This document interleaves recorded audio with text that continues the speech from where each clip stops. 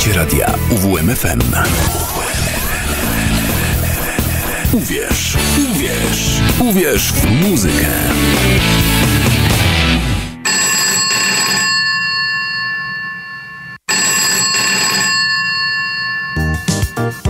Poradnia słucham. Proszę się uspokoić, po kolei. Słyszy pan głosy, tak? No i dźwięki też. Hmm, ciekawe, ciekawe. A jakie? A rzężą, syczą, dyszą i nie dają spać. Hmm. Niech się pan nie denerwuje, to nieuleczalne jest, ale da się wytrzymać. Musi pan po prostu posłuchać specjalistów. No, zakład patologii dźwięku we czwartki od 22 do północy. Same ciężkie przypadki. Zaprasza Kazimierz Walkwasa.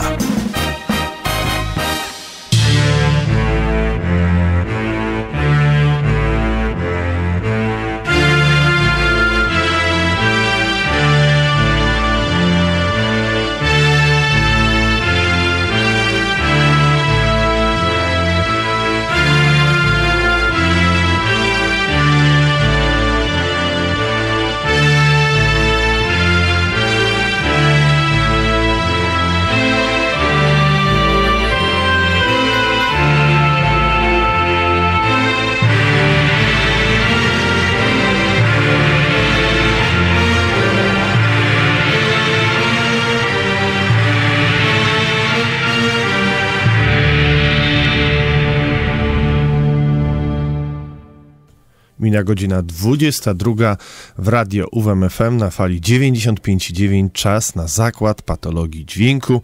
A dziś to zakład e, wyjątkowy, zresztą jak co tydzień, a wyjątkowy z tego względu, że e, październik, e, miesiąc poprzedzający nasze święto narodowe, e, aż do tego 11 listopada, e, po prostu róg obfitości. Róg obfitości. Kiedyś miałeś chamie złoty róg, e, został ci ino sznur i na nim się mógł tylko powiesić biedny Polak, a dziś mamy taki wór obfitości, e, że no serce rośnie. E, same premierowe dzisiaj nagrania, mm, niemalże, bo jeden klasyk. Wszystko, co wyszło między 1 października, no nie wszystko, ale wspaniałe płyty, które wyszły między 1 października a 11 listopada, e, to, e, to te pięć tygodni zamknie nam e, naprawdę bardzo bogato dzisiejszy program. Na początek klasyk mm, związany z naszym gościem, który 11 listopada wyda swój kolejny wspaniały album pod tytułem Legendarna A. Mowa o zespole Tenebris. No, to zaczynamy od wspomnianego klasyka, rok 1995. Szlachetny metal nie rdzewieje, czyli klasyka gatunku.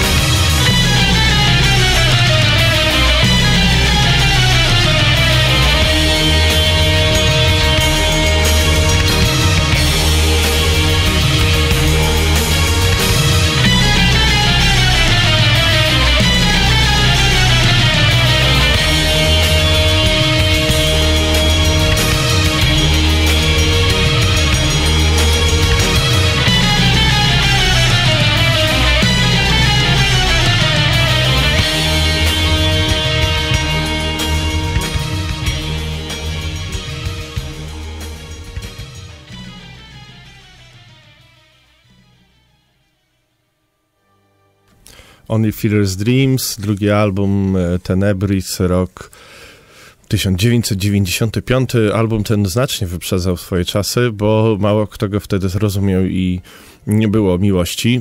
Miłość pojawiła się niedługo później, e, bo e, takie dźwięki też zaczęły płynąć do nas z zachodu.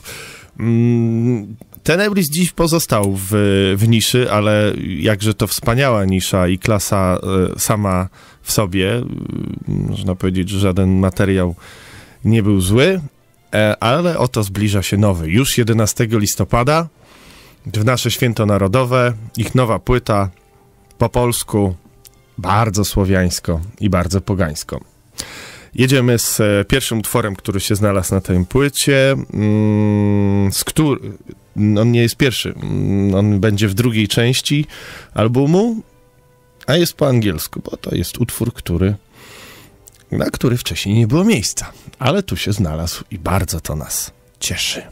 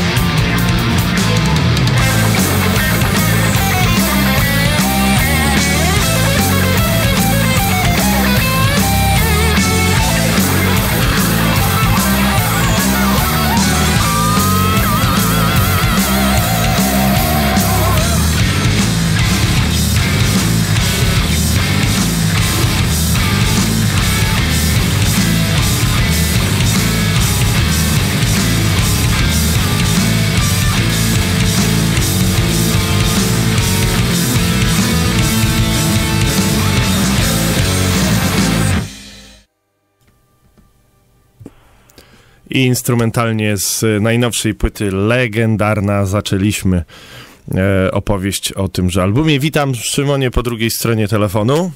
Cześć, witam wszystkich. I, e, czy w Łodzi dzisiaj jest tak mgliście wieczorem jak e, w Olsztynie? Jesienno i ponuro? Chyba, chyba nie. Raczej jest pogoda. Aha. W Olsztynie się zrobiło bardzo mgliście i jesiennie ale to, mm, ale dzień był bardzo ładny. No tak jak ładna jest płyta, którą dzisiaj e, słuchacze mają okazję posłuchać po raz pierwszy. E, jesteś chyba jedynym przypadkiem, e, który, no nie, no ostatnio parę zespołów z Nienacka wypuściło swój album, który nie, nie wrzucał czegoś e, sprzed produkcji, że taki utwór będzie, a tu singiel, a to tamto. Chyba były informacje, jakieś filmy. Były, ale gdzieś, ale nie słychać żadnej muzyki. No można już y, nawet preorder zrobić y, na Bandcampie, tak? E, Są już lista utworów, ale dźwięku tam nie ma. To wiesz, jakoś się trzeba wyróżniać, nie? Jest na tyle krótki ten nowy materiał, że mm, myślę, że warto poczekać. No tak, to jest, y, to jest zbiór utworów, które są premierowe i takie, które mm, jakiś czas mają. y, I chociażby Trembling Giant ja mam w, jeszcze w wersji w 2000 mm, e, 2011. Y, To, to już będzie chyba trzecia wersja tego utworu, co tylko cieszy. Wiesz co, no to wyniknęło z tego, że po nagraniu całego materiału na Alfa Orionis okazało się, że nie zmieścimy go na jednej płycie, a jest go za mało, żeby zrobić dwie płyty. Więc yy, no, trzeba było coś uciąć. No i przeczekało, odleżało i teraz jest właśnie okazja, żeby pokazać to, co zostało. Myślę, że- fajnie. No. Częściowo jest to materiał, który już znamy, a, ale też są jakieś takie premierowe nutki, tak jak końcówka Alfa Orionis właśnie. Czy na nowo zaaranżowany i zagrany gr- Gnom, albo sama końcówka już tam They Are Here. Mhm. No ale najważniejsze i najciekawsze i najbardziej smakowite dla nas jest to, co e, na pierwszej stronie kasety, tak? E, bo z tego, co rozmawialiśmy, prywatnie miało, miała legendarna ukazać się na kasecie, no i w wersji cyfrowej. Tak, taki był pomysł, ale dogadałem się z audioanatomy i równolegle wychodzi płyta analogowa i kompakt. Więc mamy pełne spektrum nośników. No, a ta pierwsza część no to jest właśnie odbudowany skład Tenebris i to, co nam po głowie chodzi w tej chwili. No, muzycznie nie jest to jakaś rewolucja, co też cieszy. E, natomiast jeśli idzie o strefę e, języka i tekstu, no to mamy przewrót kopernikowski, można powiedzieć. No jest pierwszy raz po polsku. Ja myślę, że też dojrzałem do tego, żeby to zrobić. I to nie jest wcale takie proste, bo hmm, język angielski, jakby ja wyrosłem z takiego założenia, że metal powinno się śpiewać po angielsku. No i cała generacja zespołów, z którymi Tenebris startowało, właśnie to robiła. Jedynym zespołem, który utkwił mi w pamięci, no bo jest starszy od nas, to był Kat. Ale od czasu Kata do czasu powiedzmy Pandemonium nie pojawiały się zespoły, które śpiewały po polsku i jakoś e, zabetonowałem się w takim myśleniu na długie lata. A aż w końcu coś powoli zaczęło mi świtać, że jednak może zrobić to po polsku. No to, Wrócić do korzeni.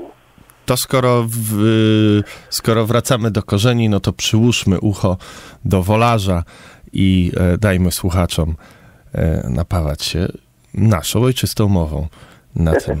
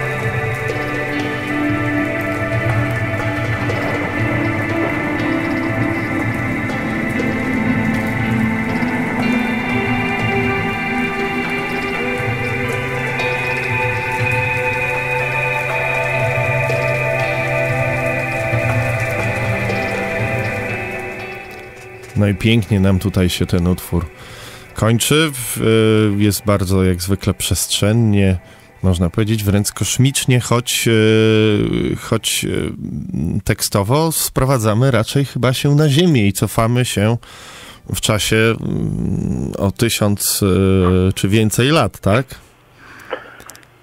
No być może, wiesz, Choć na Alfa tekst- Ronis też byliśmy w zamierzchłych czasach, ale tam byli i kosmici. Ja myślę, że to wszystko jest w jakiś sposób y, podobne, wiesz, bo ja poruszam tutaj tematy, którym się oficjalnie zaprzecza, czyli Polska nie istniała przed chrztem.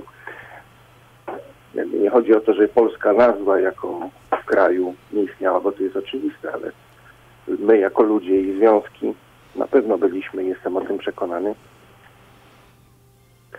Tylko oczywiście różne układy polityczne od rozbiorów aż do dzisiaj tak mącą nam w głowach, że ciężko sobie to uświadomić.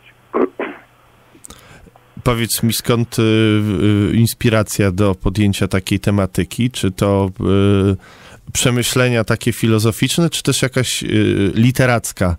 E, bo to bardzo tak poetycko-literacko brzmi, e, można powiedzieć, wręcz romantycznie, tak?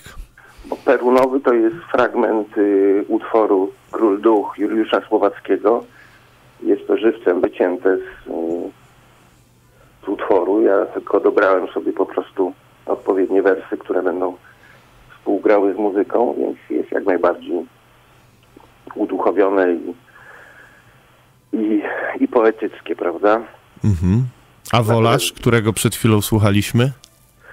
A do Wolarza jest y, też jest poezja wycięta od Kamila Baczyńskiego. Y, kawałek przepowiedni ze Ślęży jest na końcu parę słów, które sam sobie ułożyłem. Także po, posiłkuję się tutaj po poezją. Jest to jakby jakimś kołem, który mnie tu napędza żeby rozwinąć się i, i dotknąć jakiegoś ducha polskiego. Mhm. To ciekawe, bo, bo, bo no, nie, nie podejrzewałem cię, że ten, że to w tą stronę może kiedykolwiek, że to w tą stronę może pójść. Myślałem bardziej, że dalej będziesz eksplorował tematy kosmiczno, New World Order i, ten, i, i tak dalej, czyli że jakby do nas, cywilizacja do nas dotarła e, z gwiazd. Mm, Wiesz co, to jest wszystko jakoś powiązane, bo to nie, nie można uciec. Nie, nie mogę uciec jakby od jednego, bo nadal mnie wszystko, wszystko to, co było w y, starych tekstach poruszane i te tematy, to jest nadal interesujące dla mnie. Jednak uważam, że powinienem jakby spełnić, y, hmm, jak to nazwać, jakąś powinność, ponieważ jestem Polakiem, mówię po polsku i dotarłem do materiałów, w których y, doszukuje się może nie tyle polskości, ale słowiańskości. Polska jest z krwi i kości słowiańska, więc nie mam w ogóle żadnych oporów, żeby wchodzić w temat słowiańskości. Y, I zacząłem szukać y, tekstów w najstarszym języku, jaki został spisany.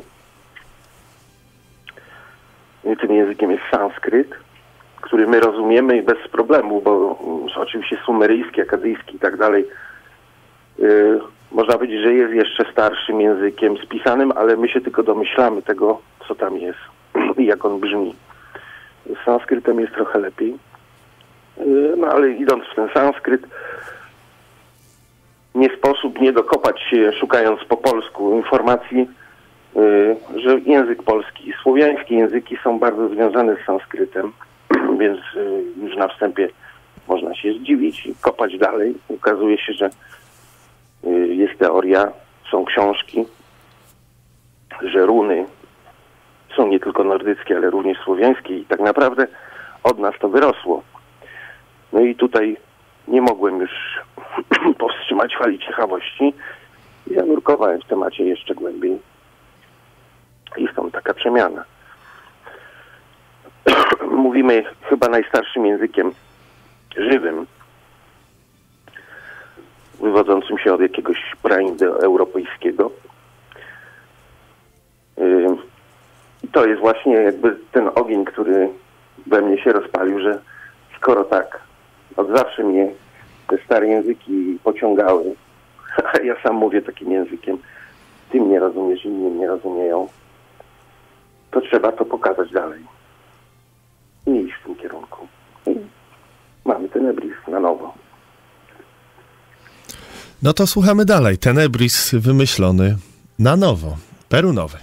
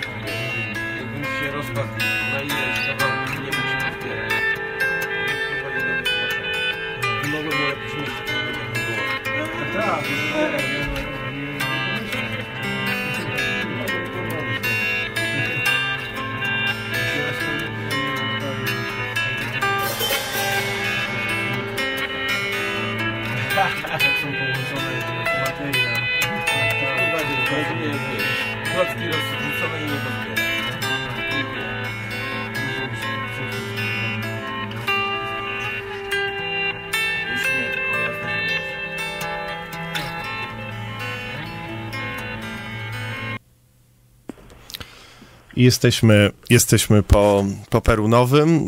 Y, ch- Teraz chciałbym cię zagadać o, o grafiki, e, bo również zmienił się całkowicie charakter tych grafik. Y, Zupełnie inna kreska.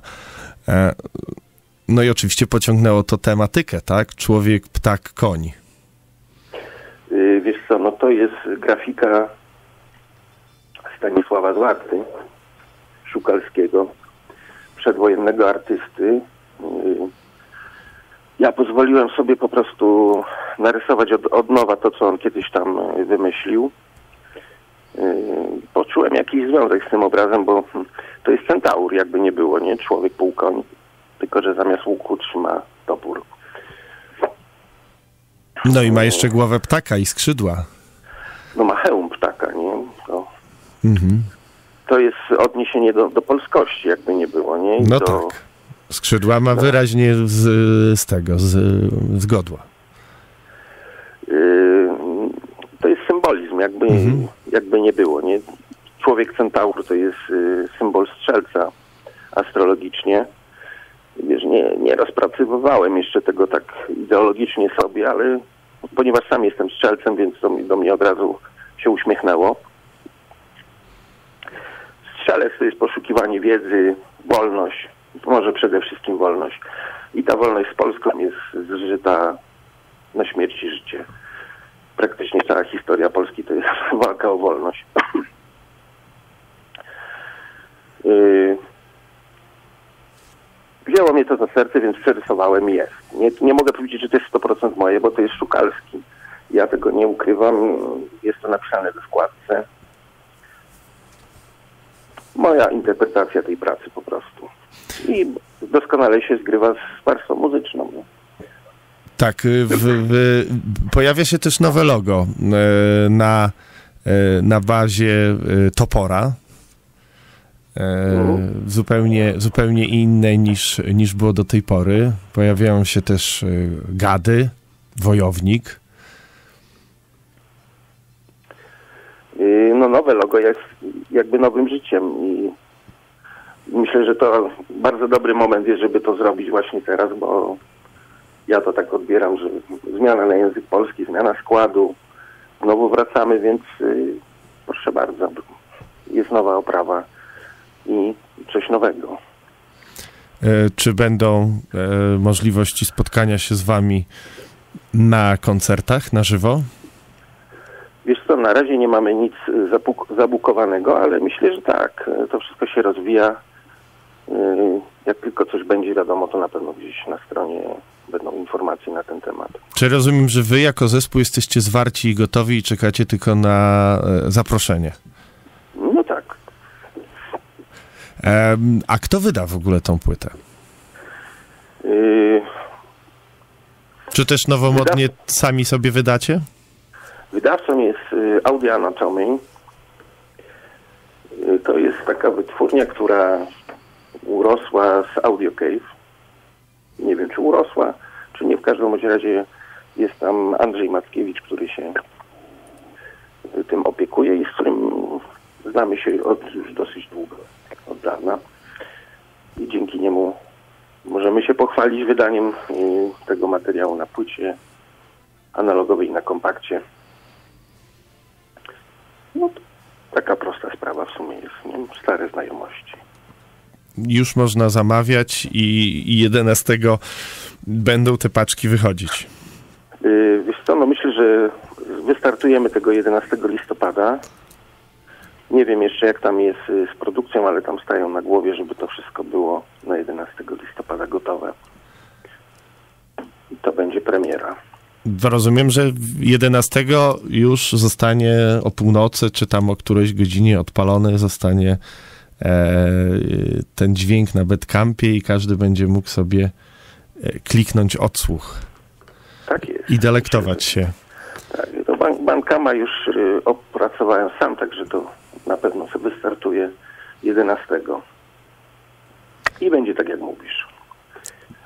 To powiedz, y, bo wspomniałeś, że nowy Tenebris, to może jeszcze e, przedstaw nam zespół, jak on teraz wygląda i czy są to zupełnie nowi ludzie, czy też którzy, z którymi kiedyś współpracowałeś, e, miałeś szansę współpracować?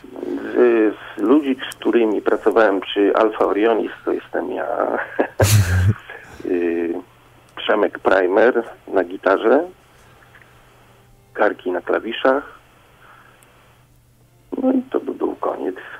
Basistę mamy nowego Artura Pieszczocha, Pieszczochowicza y, i nowego perkusistę Piotrka Patolskiego.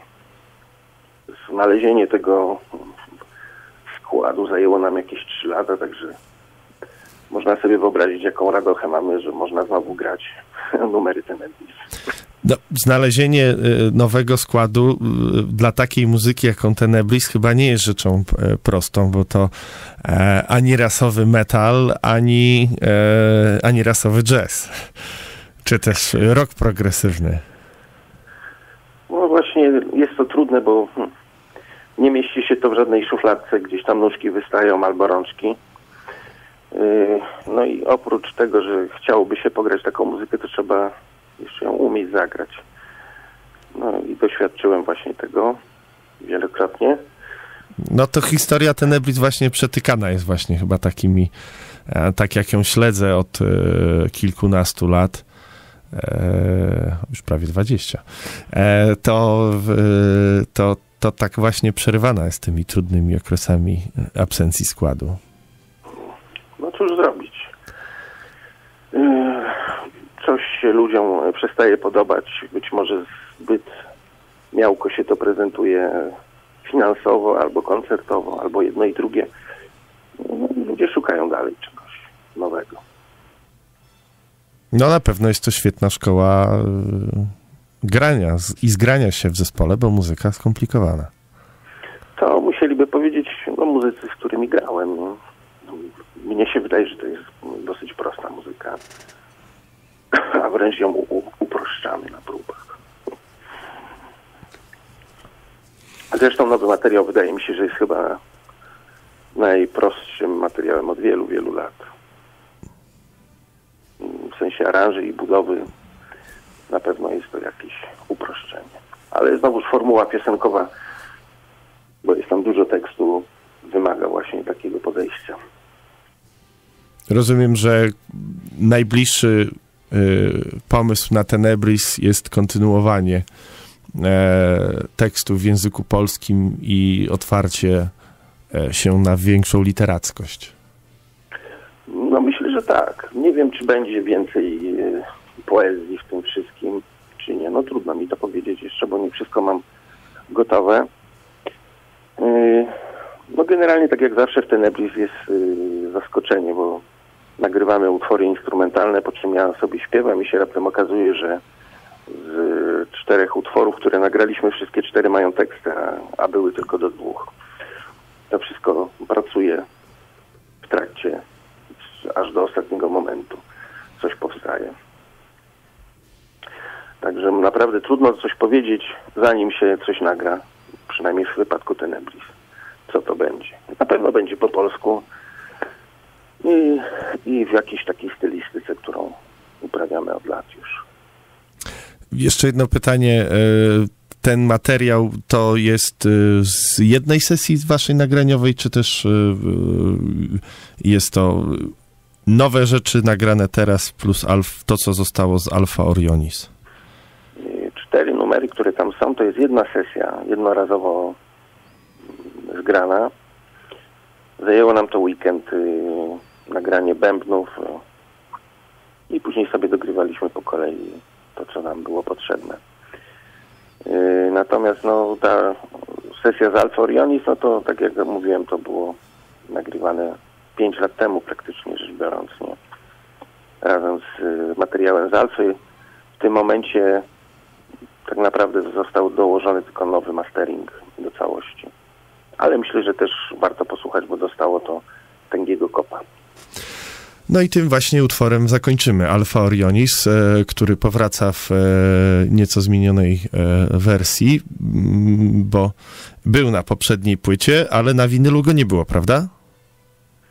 Yy, on był i na płycie, i na winylu, natomiast yy, był we skróconej wersji. Tutaj jest wersja, która mm, ma ogon, jakby no, z braku słów można to tak nazwać. Taką wersję zrobiliśmy jeszcze przy pierwszym nagraniu w ogóle Alfa Orionis yy, z realizatorem yy, Piotrkiem Tyszkiewiczem. No ale później właśnie, tak jak mówiłem, yy, z braku czasu na nośniku analogowym musieliśmy coś poucinać, coś wyciąć, żeby się zmieściło jak najwięcej. No i została ta wersja właśnie dopiero teraz opublikowana. No to dziękuję Ci, Szymonie, za poświęcony czas, za rozmowę, za, y, za te wspaniałe wokale, które zrobiłeś, jak zwykle. E, jestem pod wrażeniem. No i fajny album, e, który cieszy me serce i mam nadzieję, że innych słuchaczy również. No to ja dziękuję wszystkim tym, którym, którym chce się słuchać ten Edris i Tobie też za, za to, że nas wspierasz i no, pchasz nas jakoś do przodu. No dziękuję w imieniu całego zespołu i do usłyszenia. I do zobaczenia na koncertach, mam nadzieję. I do zobaczenia.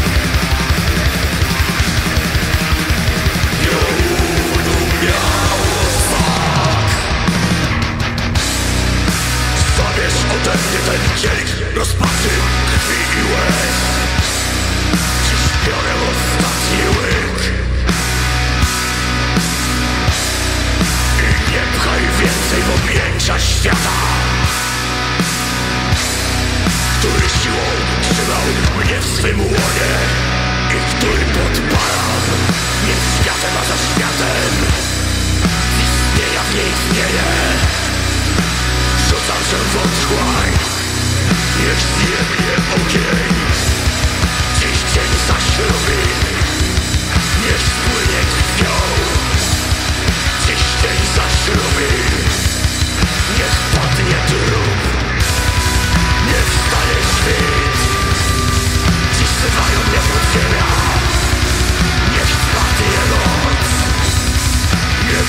wieczność krzyczy To woła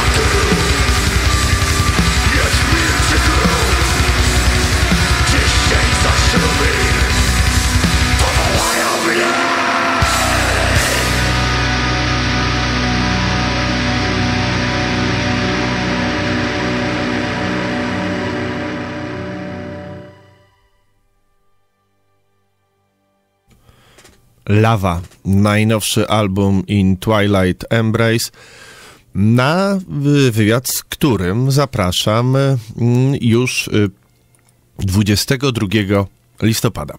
Y, Wtedy gościem zakładu będzie y, zespół In Twilight Embrace. Pogadamy sobie o, o ich najnowszej płycie, która ma już e, tydzień, dokładnie tydzień temu się ukazała, Mm, a że to taka płyta inspirowana mm, dziadami Mickiewicza, stąd e, jak najbardziej tydzień temu musiała się e, pojawić jako, e, jako no, wyjątkowa rzecz, bo w zeszłym tygodniu po, wspominaliśmy zmarłych.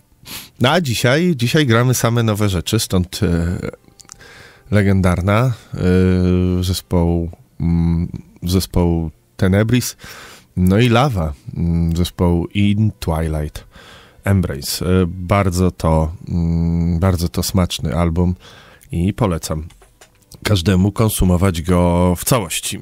A teraz, e,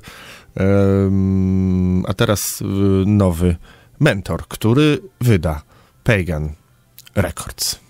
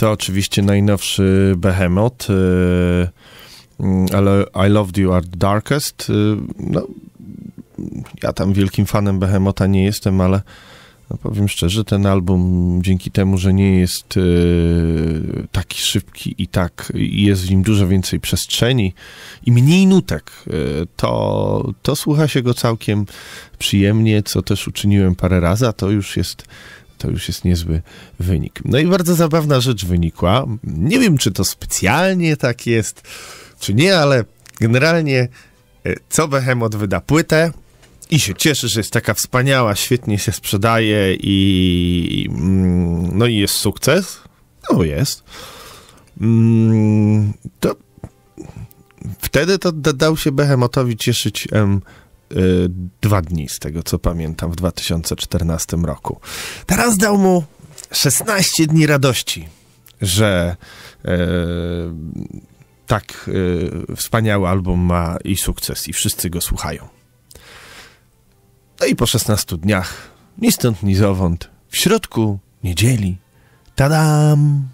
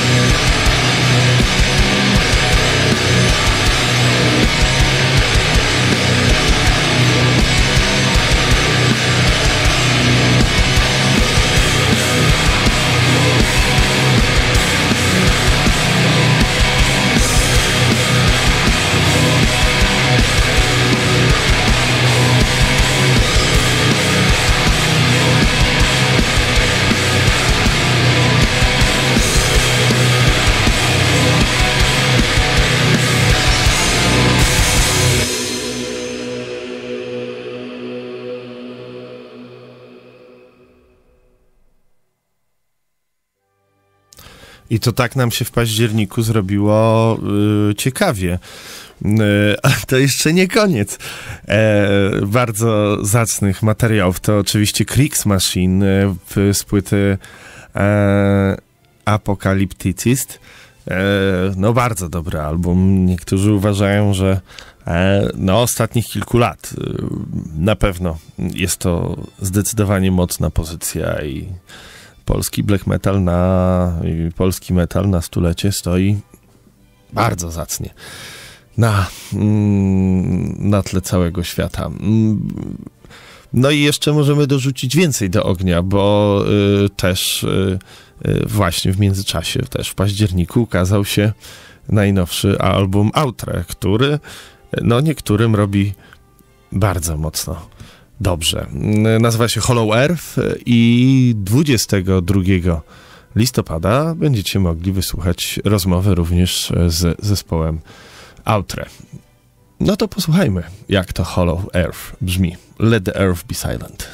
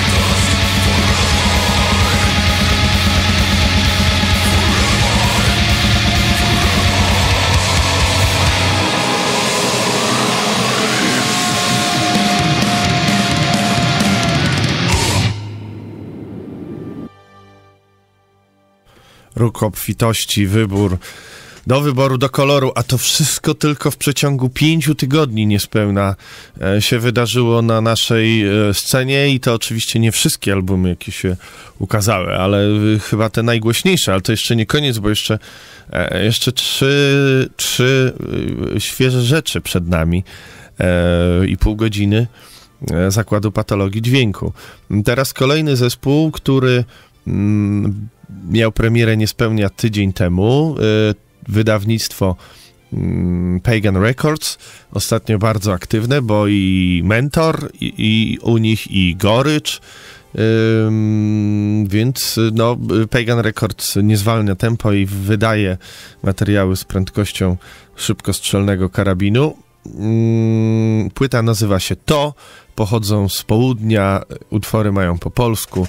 Mimo, że nazywają się Toten Messe i utwór, który posłuchamy nazywa się Kaiser Tot, to niemieckiego nie uświadczycie.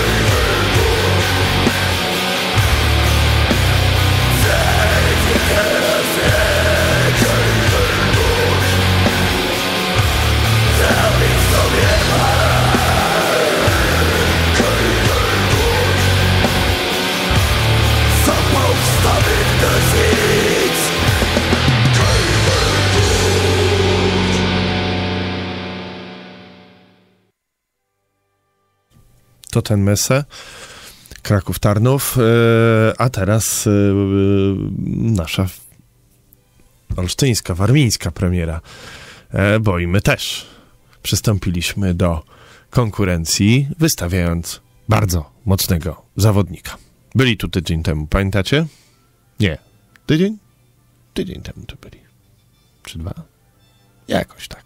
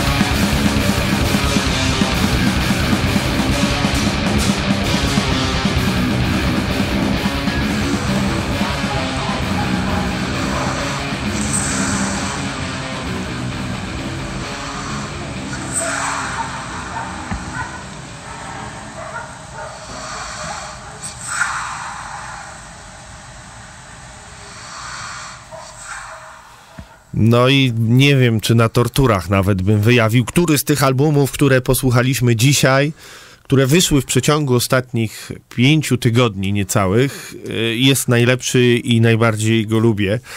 E, to szczególnie, że przed nami jeszcze jeden album, który uważałem, że pozamiatał wszystko w tym roku, no ale później były te inne takie, więc y, nie wiem, głupi jestem, słuchajcie.